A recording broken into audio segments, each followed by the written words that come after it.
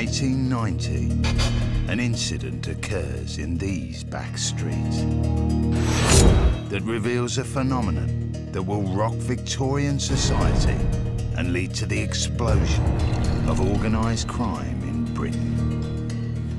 On the 22nd of March 1890, George Eastwood, an inoffensive chap, goes into the Rainbow Pub. He's a teetotaler and he's enjoying a ginger beer when three tough nuts start to insult him.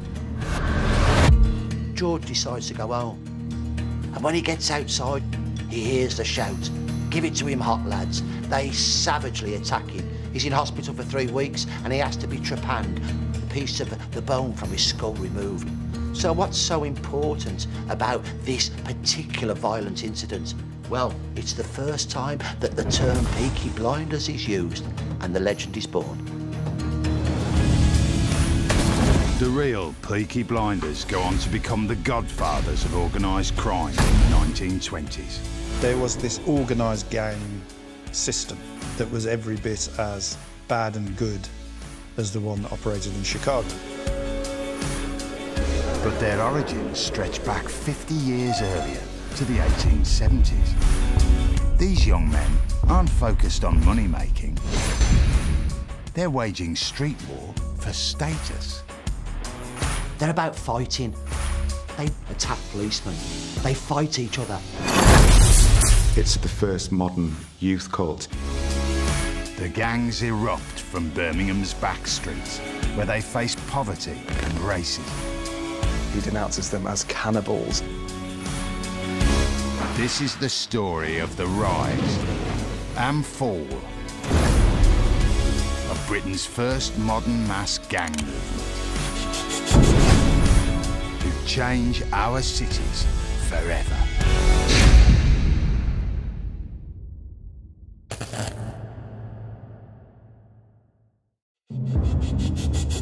My dad was the main source of stories about the Peaky Blinders. And the story my dad told that really made me want to tell this as a drama is that he was probably eight years old and his dad gave him a message and said, take these to the Peaky Blinders. And he was terrified and he walked in and he said, inside there were eight men immaculately dressed, a table covered in coins in a place where no one had any money. And he said the men were all drinking beer and whiskey out of jam jars because they wouldn't spend any of that money on something like a glass or a cup. Every penny they had was spent on how they looked. And it just made me think that in an environment where you have no control, uh, you have no authority, everything's pretty grim, the only thing you can do is make yourself the thing. The Sheldons were his uncles, and they were the people who were sitting around the table. And it wasn't until many years later when I started researching this that I started seeing the name Sam Sheldon. Stephen Knight sets his drama in Birmingham after World War One, when the Sheldons, the inspiration for Knight's Shelbys, are well established. But this film explores the early days of the Peaky Blinders. I've done a lot of research into the Sheldons, and three of the brothers, John, Samuel, and Joseph, were notorious criminals.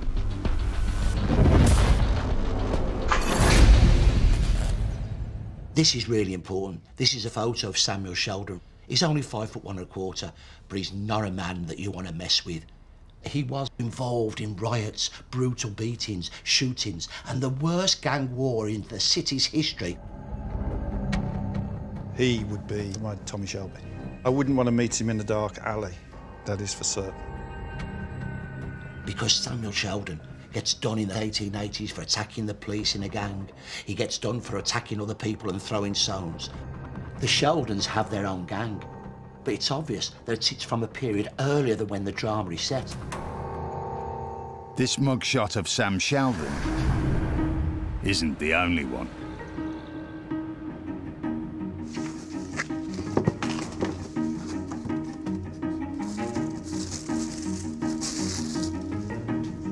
So this is the Birmingham City Police mugshot book.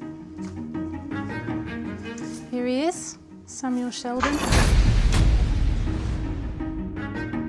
Who many people might associate with the fictional Tommy Shelby character from the Peaky Blinders, who was part of the Sheldon family, criminal family in Birmingham. This occasion, he was sentenced to five years penal servitude for being in possession of a base coin, which was a common offence at the time. It was it was forgery, forging coins, fake currency. It's probably the biggest police mugshot collection in the UK. This contact with the law gives a rare insight into working class history, where so often no records exist.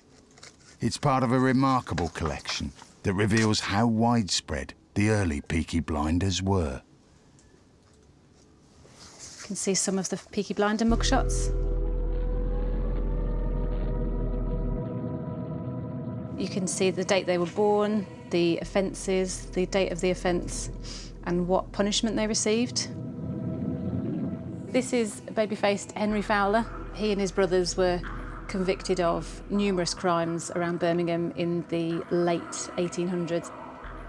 Ernest Bales here, sentenced to two months imprisonment for stealing a bicycle. Young Ernest there with his peaked cap and his typical frown.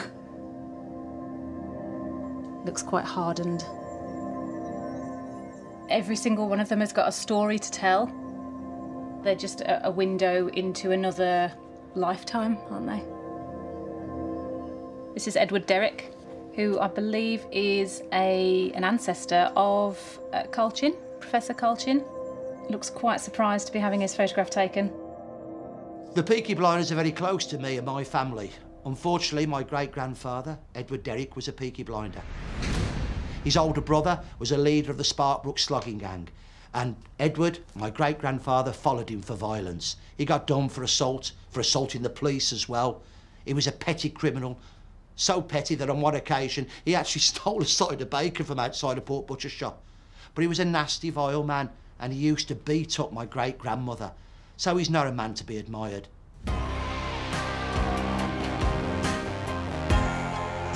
By trawling the records of hundreds of Peaky Blinders, it's clear that the early Peakies are a Birmingham-wide phenomenon. The real Peaky Blinders are not just a 1920s gang, one gang. The real Peaky Blinders are the men and youths who belong to numerous backstreet gangs in Birmingham in the 1890s and turn of the 20th century. But their roots go back much further. They're just known then as street ruffians, but from 1872 they have a name. Slogging gangs. And that name is from the word slogger, which means to hit somebody with a fierce blow. It's the start of an urban movement that will ultimately transform attitudes to the working classes and life in the inner cities. The rise of these slogging gangs is mirrored in other industrial centres across Britain. By the late 19th century, we're hearing lots of reports of territorial youth gangs in England's major cities. And without exception, the gangs are located in the working class residential districts. So these will be the factory or workshop districts of cities like Birmingham and Manchester. The rampant ruffianism of the back streets. That's the problem of the big cities Birmingham, Manchester, Salford, London, and Liverpool. These are the shock cities of the new industrial age. There's nowhere else like this on Earth, and there's an intensity to life.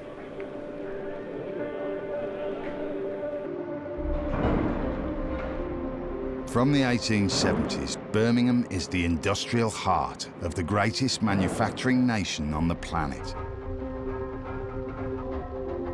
But the price is high. Charles Dickens describes the city as a vision of hell. Life expectancy is below 45 years. Around one in five children die before the age of five. People are working long, long hours. They're working in hot, noisy, often dangerous conditions.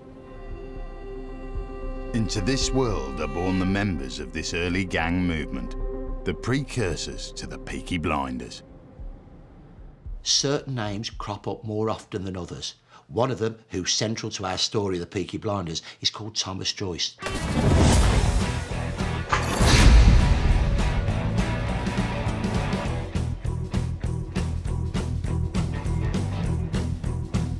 A mugshot of Joyce hasn't survived, but we know about him because he makes the papers.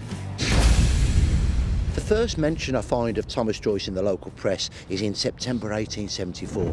He and a pal from the Park Street gang are on Deritend Bridge just over there and they attack William Smallwood, a top fighter from the nearby Milk Street gang. They use very filthy language and draw their knives. Smallwood strikes out with his buckle belt. Joyce and his pal end up in court with their heads bandaged and the magistrates look at them and go, you've had a good thrashing. Taste of your own medicine.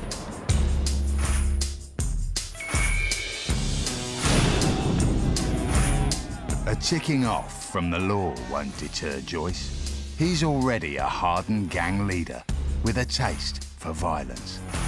Making money doesn't motivate him. Fighting does. Thomas Joyce would have become captain of the Park Street gang because he was the toughest, the nastiest, the most brutal in a fight. What we need to understand is why was fighting so important to so many poorer working class youths? They owned nothing, but the one thing they did own was the street that belonged to them. So territory and masculinity come together. If you can defend your street and beat another street, you enhance your own status. There's a ritualistic component to confrontations between gangs. I think there's lots of shouting at the outset, lots of threats being issued. These are not criminal gangs in a conventional sense, so they're not organised for the purposes of street robbery or theft. They're much more fighting gangs, so really what they're interested in is defending their territory. There was much more acceptance of violence. I think people were much more violent then. There was sort of an acceptance of, of not casual violence, but just that there would be a fight and men would fight each other. Um, and people would get hurt. To understand why Thomas Joyce becomes a Peaky Blinder, Carl has been tracing his story.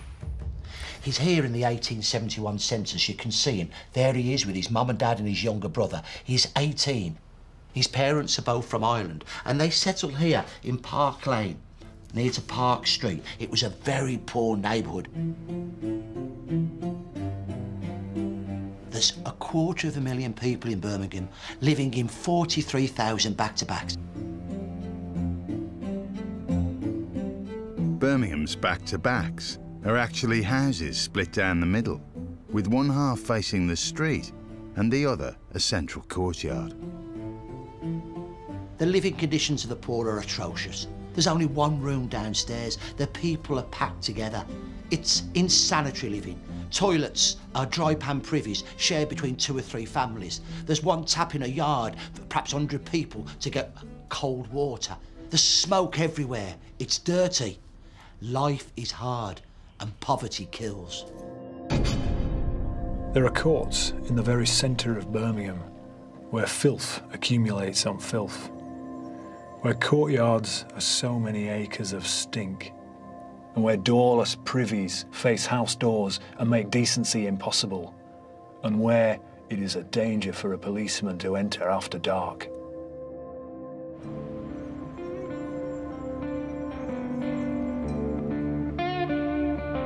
Thomas Joyce lives in the squalor of these courtyards and lanes, but the census reveals a detail that's surprising. He's a youngster in the 1871 census. We can see that he's a, a labourer. Like most of the early Peakies, he isn't unemployed. He's working. At the time, employment rates reach a record high. It's said that any 12-year-old can get a job. The overwhelming majority of gang members are young men and adult men who are unskilled. Lots of them are factory workers. They're hard-working chaps. Others are street traders. There might have been quite a lot of work around, but it's badly paid. And so they haven't got a lot of spare cash. So what they're doing is that they're looking to enjoy themselves in the cheapest way possible. From 1851 to 1881, the average age was just under 25. The middle class birth rate declines, but it doesn't drop in poorer areas. So in poorer neighbourhoods, there's lots of youngsters, lots of children, and they're out on the street. They've got no gardens, they've got no front rooms, so the street's their playground. If we think about these boys being quite marginalised, often in work that has limits to its satisfaction. There's a limit to how much they can progress in life. So perhaps the gangs give them something different. It's a testing ground for their masculinity. It's somewhere where they can prove themselves. There's a great deal of loyalty and identification with the gangs. And gangs have these, you know, they have a particular association with, with specific areas, streets or clusters of streets. And so we have boys who are associated with named gangs in this period.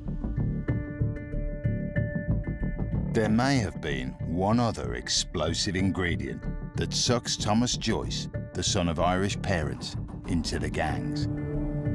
Racism. Irish immigration to Birmingham happens in a big rush in the 1800s, and a large amount of that happens in the 1840s and the early 1850s. So uh, you have the population, if you look at the census, of Irish-born people in Birmingham basically doubling between 1841 and 1851. And that great rush of migration into Birmingham is happening because of the disaster of the Great Famine in Ireland. The famine of 1845 to 1851 leads to death by starvation and disease of more than a million Irish men, women and children. Up to two million are forced to emigrate. The Irish who move to Birmingham are often living in the very poor, very central areas of Birmingham, streets such as Park Street. Now those areas are very badly served by things such as water and drainage and sanitation. These new immigrants, like the Joyce family in Park Street, are confronted by age-old anti-Catholic hatred. And in 1867, that hatred is brought to the boil by a Protestant rabble-rouser, William Murphy.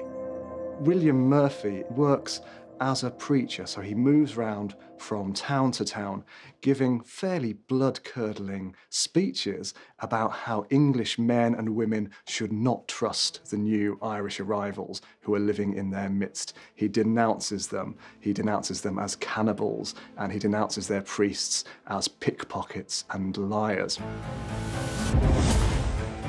In June 1867, a mob marches on Park Street one of the poorest neighbourhoods in Birmingham. A huge number of people who view themselves as English patriots turn up in the Irish area of Birmingham and decide to smash up the homes of the people who live there. And at one stage, the mayor of Birmingham estimates that there are about 50 to 100,000 people in the streets during those very riotous events. The Murphy riots are focused on Park Street, which has an almost entirely Irish born or second generation Irish population. And the people who live on Park Street put up quite a fight, and the police very much take the sides of the people who are attacking those Irish residences. And when the police do that, really the fight is is over. And there are some very sad descriptions then of those Irish homes being ransacked, having their furniture brought out into the street and smashed. It's the Irish victims of the mob who are charged with rioting and have their claims for compensation turned down. Many of them live in the same street as the Joyce family. And soon after this injustice, Thomas Joyce rises through the ranks of the Park Street gang. The roots of the slogging gangs are in the tail end of the 1860s when a number of people in Birmingham who are children at the time or teenagers at the time see the Murphy riots. They see their homes being smashed. What then happens in the 1870s is that uh, this, this group who've lived through that period have seen the way that being skilled at things like stone throwing or being uh, being part of a big group might be a really sensible measure. It might help you to protect your own and your community. So I think that is the legacy that we then see in some of the activities of the 1870s. We find names such as the Joyce family of Park Street being involved in leadership positions of the slogging gangs in the record from the 1870s. Thomas Joyce thrives on this ethnic tension, but the gang wars between Irish and English peakies lead to family casualties. By 1874, Thomas Joyce is regarded as the captain of the Park Street gang. One of his men is his younger brother, Jackie. He's only 13. And in February of that year, Jackie, along with other members of the Park Street gang, are involved in a disturbance with the Milk Street gang. They're great enemies. In that disturbance, Jackie creeps up behind 15-year-old Thomas Kirkham. There were about 20 boys standing together at the top of a gullet. One of the boys called out, Here, Kirkham. A witness noticed the prisoner steal around behind Kirkham and throwing an arm around him stuck him in the neck. He called out, Murder! I'm stabbed! Another witness saw a boy staggering about in the middle of the road with a knife in his neck. The witness pulled the knife out and assisted the boy to hospital. Sadly, Thomas Kirkham dies soon after. Jackie goes to court, and there's a bit of a dispute over how old he is. At the start, he says he's 14, then he says he's 13. Well, one of the obvious reasons why you might give a younger age, particularly the age of 13 or under, is because if he's tried at age 14 or over, he's tried as an adult and he could be facing the death penalty.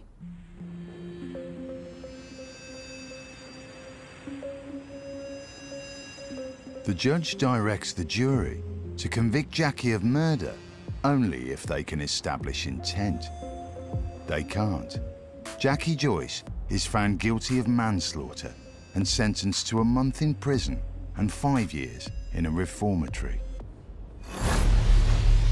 There's a lot of kudos, a lot of status hinges on reputations for toughness and for fighting prowess. We could almost say that some of the leading sloggers or peaky blinders were the celebrities of their age. And we discover evidence for this rising infamy in a familiar place, the media. In 1855, tax on newspapers is lowered, so they're cheaper to buy. It becomes way more accessible to a lot more people, including the working classes. Birmingham Provincial Press is really telling us many more stories about crime locally than ever before. Almost if you think about how popular reality TV is today, it's the kind of Victorian version of that, of finding out what's going on in your local area, the crimes that have been committed, the bad guys, the scandal. So it becomes much more exciting to read. It is the birth of the modern tabloid press crime is the most commercial form of entertainment news in Victorian Britain because they're they're doing something that people can only really aspire to in, in their lives. They're actually breaking all the rules. It's, it could be seen as a form of social mobility. By the 1870s, literacy rates are increasing.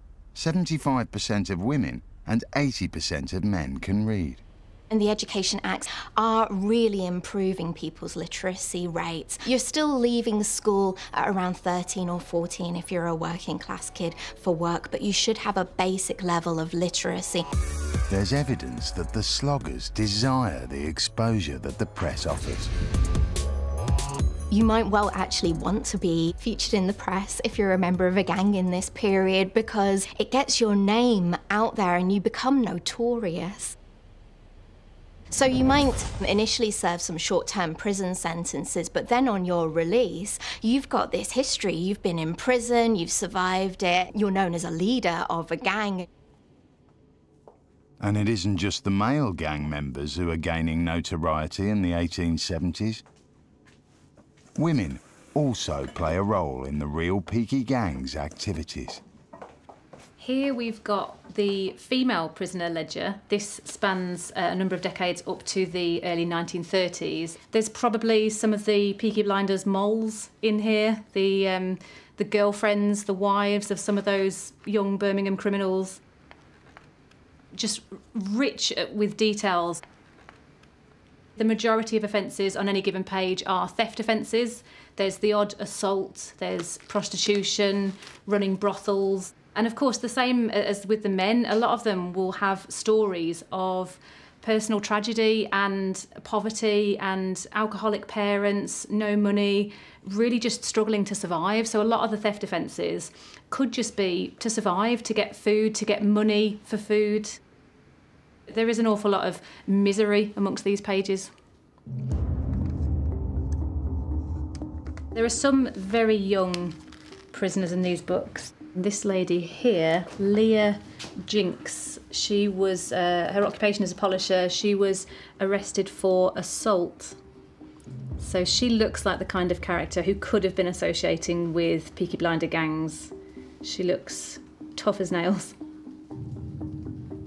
And she's only 18 years of age.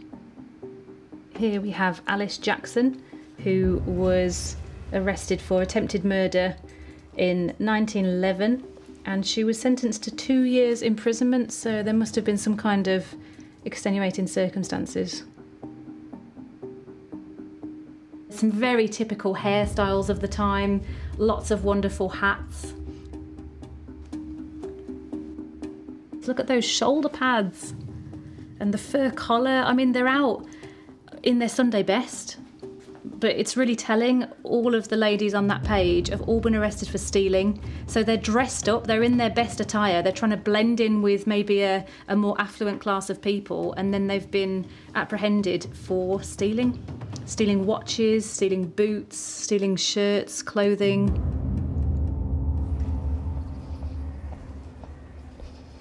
Historian Kate Lister has been uncovering how some of the women peakies were just as involved as the men. In the summer of 1874, a riot broke out in Digbeth, Birmingham. Witnesses said there were up to 500, maybe 600 rioters, attacking police, smashing windows, and generally destroying property. And it wasn't just men who were doing the rioting. 15-year-old Julia Giblin was among the arrested rioters. She'd been seen by witnesses carrying stones in her apron to throw at the police. Julia was not an isolated incident. We have reports in some of the larger scale gang confrontations of girls fighting side by side with the boys and they're involved in assaults on the police or in assaults or attempts to intimidate witnesses and it seems that that's where often the girls and young women are most actively taking part in the violence. Women like Julia Giblin upset Victorian sensibilities no end. They were not the angel in the house. They were not demure, submissive or quiet. They were loud, aggressive and violent. But in Victorian Birmingham, in the streets, you had to be loud if you were going to be heard at all. Girls and young women associated with the gangs, they're adopting their hairstyles and, the, and their clothing to show their sense of affiliation to the gang.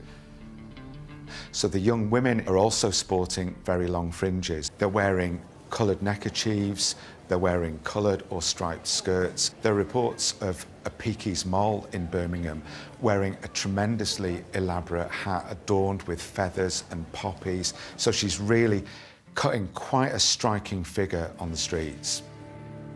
In a world where you don't have much, being a big player on the street corner can feel like quite a lot. And the way you dress and look are keys to that identity, for the men as much as the women.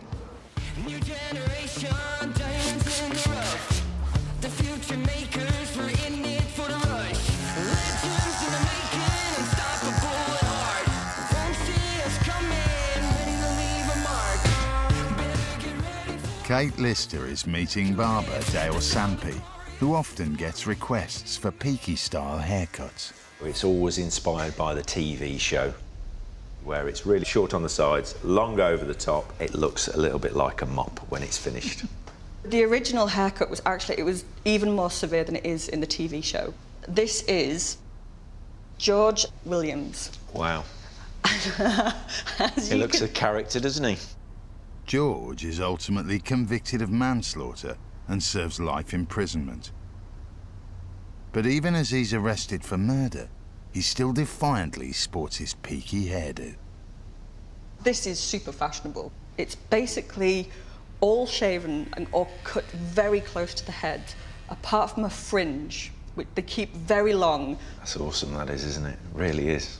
So this is quite a severe and extreme version of the haircut, but they were all sporting variations on this. But when they first came into existence, they were wearing hats much more like this that were known as billycock hats. And they would fashion the front so they were peaked.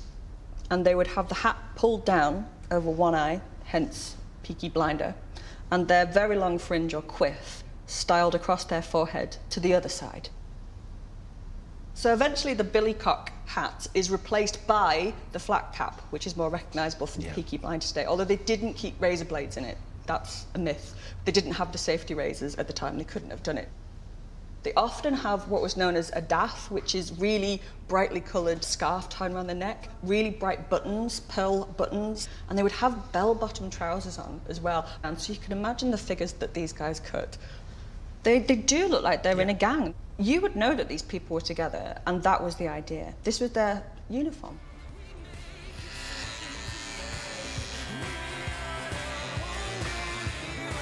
They have been described as the first modern youth cult, and I think that really makes sense. Their clothing, their sense of style, even their own language, they really do look like the forerunners of the later 20th century youth cults like punk and so on. There are even reports of gang members having clothes specially made for them. We have a report from Manchester of a young man in a scuttling gang whose sweetheart has apparently knitted him a distinctive pair of socks. And then in Salford, the so-called king of the scuttlers, John Joseph Hillier, somebody knits him a sweater with that legend King of the Scuttlers sewn onto the front. And he takes to parading the streets of Salford, showing off that jumper. So that, that moniker, which was really intended to shame him, has absolutely the reverse effect. The Peaky Blinder. This product of poverty, squalor, and slum environment was a terror to respectable people 40 odd years ago. He was also a terror to the police. He went in pairs along Summer Lane every Saturday night, but he never molested any member of my family. Perhaps as we lived on his doorstep, we were treated as members of the gang. By courtesy or adoption, the local bullies would always give me curt nods of comradeship. The street gangs are all about territorial conflict. But there is one other element that defines them. Gambling. And the next time that we come across Thomas Joyce's Park Street gang, they're engaging in one of the favourite pastimes of all the gangs. Pitch and toss is a simple game. A group of young men or lads will gather and they'll have a target and they will pitch their pennies towards the target. The one that pitches them closest to the target then is allowed to pick them all up. So, they get them, and now it's the tossing. They're tossed up into the air, and the coins that come up heads, he keeps. Thomas Joyce's gang are playing for pennies, but street gambling games are part of a much larger tradition. So gambling was pretty much ingrained in English life, everyday life. If you were the working, industrial working class or the rural poor, uh, you liked the idea of um, a bit of a flutter. My mum would say my granddad was the big gambler, and he would, his, he had one suit, and she would take his suit to the pawnbrokers, on a Monday to get cash so that he could bet. And then when he got paid on the Thursday, he would retrieve his suit, wear the suit over the weekend, and then back into the pawnbrokers on the Monday. So that was the routine. I think gambling um, and beer uh, were solace for people who didn't really have much source of solace. I think it's about escapism and it's about trying to find um, some fun in what is an otherwise relatively bleak um, existence compared to today. So they wanted to kind of make the most of what little bit of leisure time they got. I think people gambled because they didn't have much else in terms of hope for change. So they weren't going to get out of this situation by working because they worked as hard as they could anyway. And the only possible way of getting a sort of even a few moments of something different was to win. Until 1826, there'd even been a national lottery in Britain. But infected with prudish Victorian values, the middle classes want the fun to stop. As the 19th century wore on, uh, the campaign against gambling, um, the Puritan puritanical campaign against gambling, uh, the religious campaigns, the uh, moral disdain that many um, of the elite felt for poor people gambling gathered pace and uh, conspired to make working class gambling illegal. In this powder keg of antagonism, Thomas Joyce's gang come up against the law. When the police break up their pitch and toss games, the gangs fight back. It's a regular occurrence on the streets of Birmingham. I'm not far from the spot where a full-blown riot breaks out in 1871 when a few policemen try to stop one of the gangs from playing pitch and toss. When the police try to stop the gambling, they're attacked by the enraged youths. They're called roughs disparagingly. It's a really dangerous situation. And one of the policemen involved said that the numbers rivaled those in the Murphy riots, the worst riots in the entire history of Birmingham.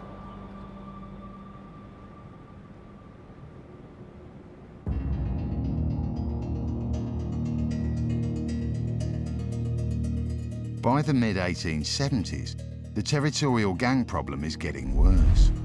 Thomas Joyce's Park Street Peaky Gang is one of more than 50 throughout Birmingham.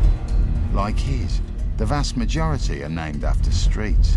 The phenomenon is repeated in cities like Liverpool, Glasgow and Manchester, where the gangs known as scuttlers often have names inspired by real events, like the Franco-Prussian War. There's even a Buffalo Bill gang, after the famous frontiersman tours his Wild West show. There's a great moral panic in the 1870s around the activities of these young men involved in slogging gangs. The neighbourhood is so infested by roughs of both sexes that it is feared dangerous for a policeman to work the beat alone. The mob actually hunting and stoning him off the streets. For five years, Thomas Joyce's slogging gang is one of the most feared in Birmingham. But then in 1875, another gang crosses a line when it graduates from fighting rivals to take on the establishment. 7th of March 1875, a riot erupts in this street, Navigation Street, when a mob tried to free a prisoner from two policemen. They're pelted with stones and mud. PC Lines comes to help them. He tries to beat back the crowd with his staff and the sergeant manages to drag himself away. But then, as one witness put it, they attacked him like rats and somebody stabs him in the neck. He falls, they start kicking him on the ground. Then more police come. They take PC Lines to hospital. It's really difficult for the police to find out who's actually involved in the Navigation Street riot. This is a collection relating to the murder of PC William Lines, who was stabbed in Navigation Street in 1875. This is believed to be the whistle of PC William Lines. You can see the um, crucifix attached to the to the whistle chain there. This is the picture from his funeral. You can see it was very well attended by his fellow officers and members of the public. He was the first police officer to be stabbed to death on duty in Birmingham and he he attended the scene of the the riot to help out a fellow officer and he and a sergeant were both assaulted he was stabbed behind his ear and he died in hospital 2 weeks later this is the offender who was deemed to be ultimately responsible for stabbing him, Jeremiah Corkery. And we have a couple of what I presume are commemorative um, postcards, posters produced at the time, um, both kind of highlighting the plight of Corkery. After a trial in which 20 year old Corkery first pleads his innocence and then confesses his guilt, he's sentenced to hang at Warwick on the 27th of July 1875. He rose about 4.30, and from that time until the moment of his execution, his terror and consequent helplessness appeared to rapidly increase. Shortly before seven o'clock, he was visited by Father Kelly, and he then engaged in religious exercises, the last rites of the Roman Catholic faith. The very beauty of the morning, however, appeared by contrast to intensify the deathly and shocking look of the condemned man. His face was deadly pale, his eyes half opened, he trembled violently and his knees occasionally seemed almost to give way. On being placed in an upright position, he staggered and would have fallen had not the warders again been vigilant. And in a moment, the drop fell with a dull, heavy sound, and the unhappy murderer's body descended with a swift rush, being brought up at the end of the rope with a terrible jerk. the report on the execution of Thomas Corkery is intended to be moralizing, like this will be your inevitable doom if you commit a crime, a terrible fate awaits you. On the other hand, it's quite um, voyeuristic and salacious as well. And that is what the Victorian press plays upon. They know this is commercial, they know that people will actually treat this as entertainment. I'd say a little too much sympathy towards Corkery rather than PC William Lines, who ultimately lost his life, uh, left a, young daughter without a father, uh, a wife with no husband. Um, but there's lots of information and sympathies towards Corkery. Corkery becomes Birmingham's slang for striking fear into policemen. The city is gaining a reputation for lawlessness. Over the next few years, two more police officers are killed, hundreds injured. And what were skirmishes in the streets now look more like full-scale battles. The range of numbers involved in the fights is quite extreme. You could have, as in 1886, supposedly 2,000 Peaky Blinders, slugging it out.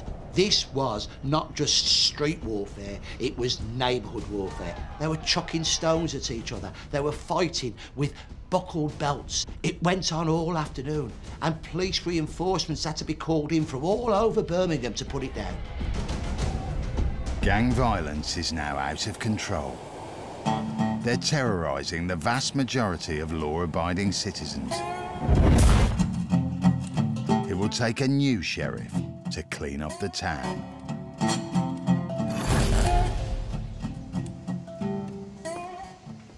So here we have the tunic of Sir Charles Horton Rafter, our Chief Constable from 1899 all the way up to 1935 when he sadly died in office. 1899, when he joined Birmingham City Police, several officers had been killed in the line of duty. Police officers were being stabbed or assaulted every other week. It, it was a really dangerous place to work as a police officer. So he came in, he came across from Ireland, and he had to improve the quality of policing, to improve the standard of education of his recruits, to improve discipline, but also to try and stamp out a lot of these really big crime problems in the area. Many of those recruits come from the Irish community, who only a generation before had been the victims of racist mobs as the police stood by. Only 1% of Birmingham's population are by this time Irish born, but they make up 7% of the police force.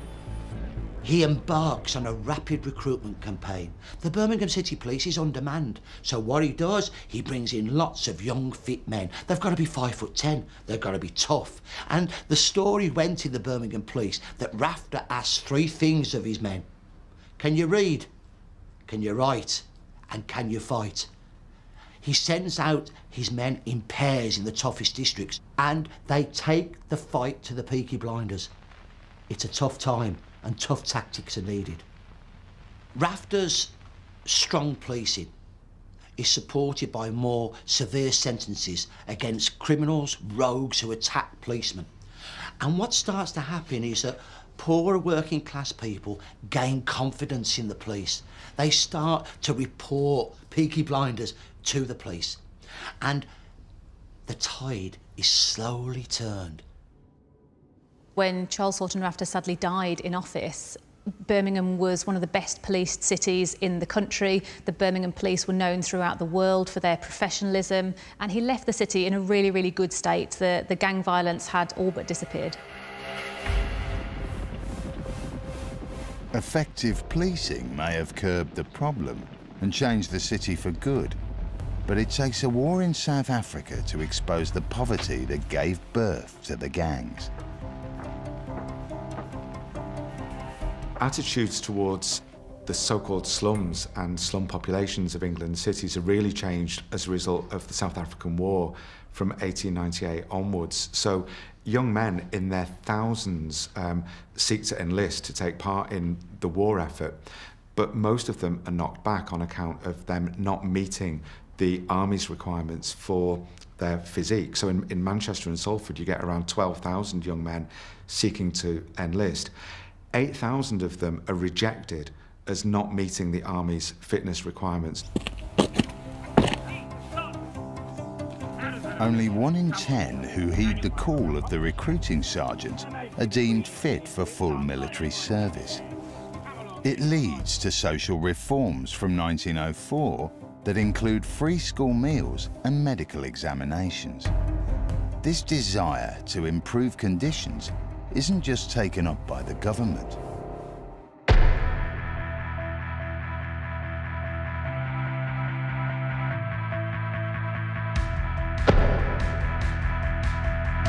A group of enlightened philanthropists also get involved.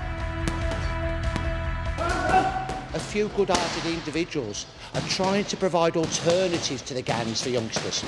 And it's their belief in physical fitness that has a major impact on the decline of the gangs. Now, one of the most important figures in Birmingham is Father Pinchard. He's the High Church of England vicar in St Jude's. That's one of the poorest parishes in the city. In 1896, he starts a club for young lads between 18 and 20. The most important attraction, boxing. They've got no ring, no ropes. They box in their clothes, but it's really popular. The boxing clubs don't just attract Birmingham's peaky blinders. Lads clubs prove popular up and down the country. And what's really interesting is that by and large, they work. By the late 1890s, reports in Manchester and Salford are suggesting that scuttling is absolutely on the wane. What the lads clubs really do spectacularly well is to bring in the 12, 13, 14 year olds. So the gangs almost wither out as the lads clubs take root. The lads clubs also heavily promote football and football grows very rapidly in the late 19th century, both as a participant sport with teams forged at street level playing on the patches of open ground. Football also grows very rapidly as a spectator sport. Famous teams like Aston Villa, Birmingham City and Manchester City all emerge from this movement.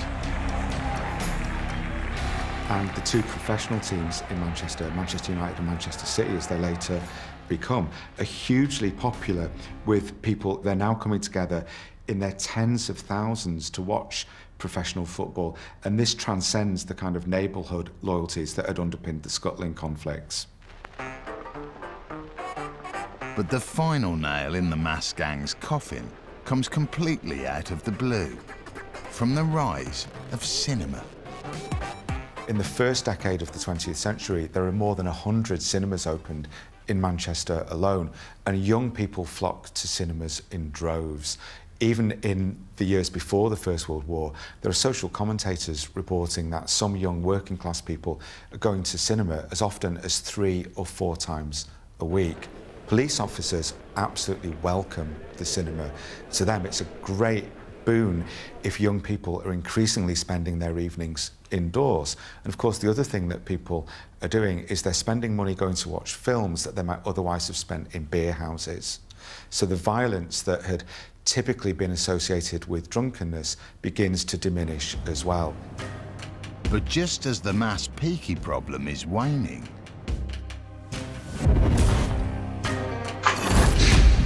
a familiar face re-emerges from Birmingham's slums. Sam Sheldon and his family, the inspiration for the Shelbys in the drama series, have been working away in the shadows. They're now a powerful crime gang. We come across the Sheldons again in the early 20th century, and that's when they gain infamy. Let's have a look at one of the newspaper reports from the period. Look at it The Birmingham Vendetta, injured man's dramatic story, accused remanded. And they fought for four years brutal beatings, shootings, riots. They fought with Billy Beach. Beach, a hardened street fighter, lives close to the Sheldons.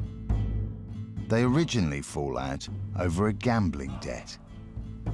And it was a gang war that was fought by men who were living really close to each other in and around the Garrison Lane neighbourhood. When I was growing up, the vendetta in Garrison Lane, for me, it was like, as a kid, I imagined it as like a Wild West OK Corral shooter, which it sort of was a bit. But it was two families who really didn't like each other in Garrison Lane. And Garrison Lane at the time was obviously teeming with people and was quite a lawless place.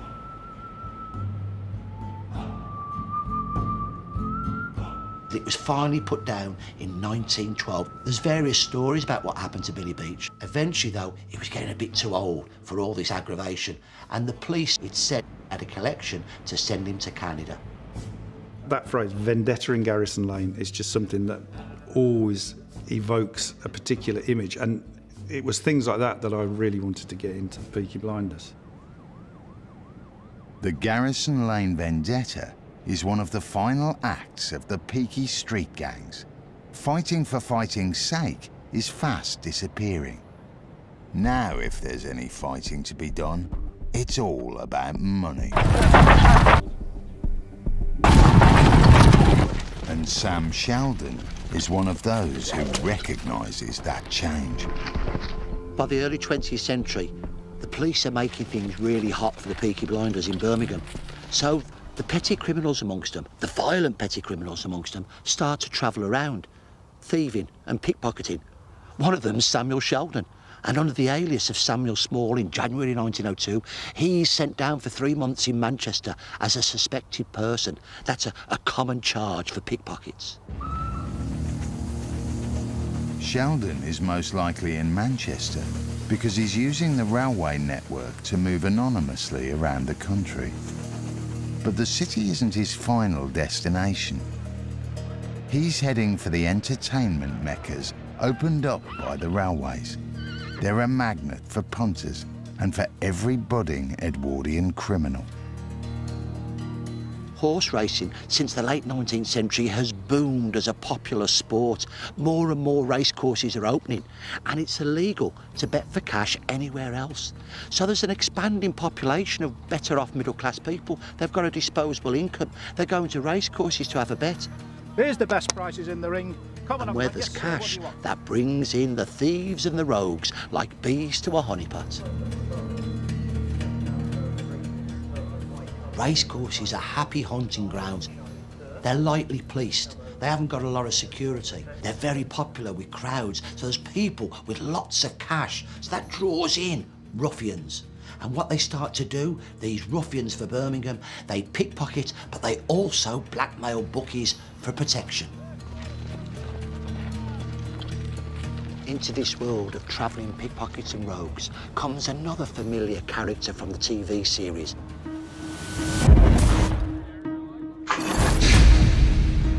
Billy Kimber.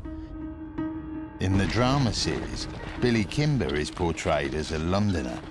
In real life, he's from Birmingham. Big man, apparently, very, very good street fighter, cobbles fighter, uh, very dangerous man to cross. I think he had a theory that uh, you, you picked out the biggest of the opposition, dealt him a blow, and everybody else would fall into line.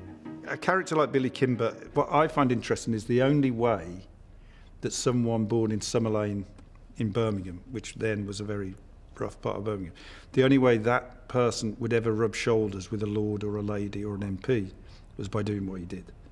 He would never have got there by working hard in a factory. And so, in a sense, this, this idea that there's only one way out, or two ways of boxing, and that um, is sort of true. And that's the only, and that's what I've tried to reflect in Peaky Blinders. Kimber's the clever one.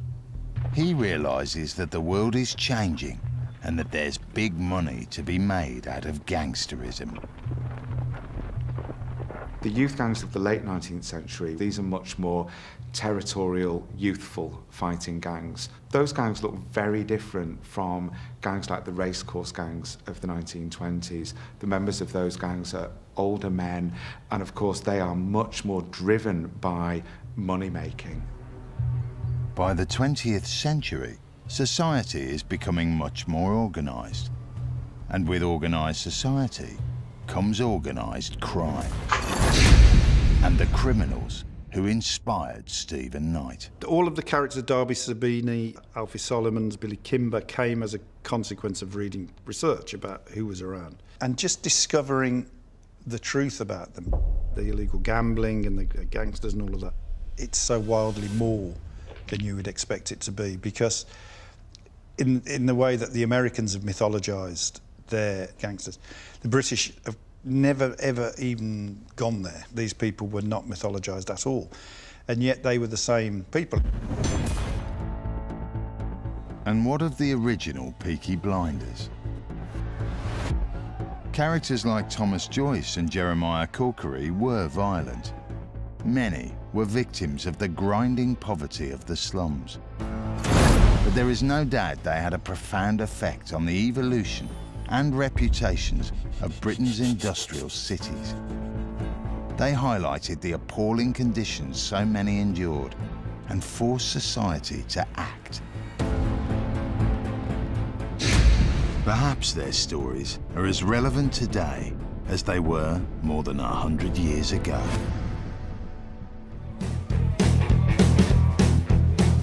Next time, British gangsterism explodes in the racecourse wars of 1921. It's England's first major gangland war between two gangs from different cities. They give rise to Britain's Al Capone and spawn the mother and father of all British crime gangs. The Sabinis are the spiritual godfathers of the Krays and the Richardsons. There they are, the real Billy Kimber, the real Darby Sabini, and the real Alfie Solomon set to go to war.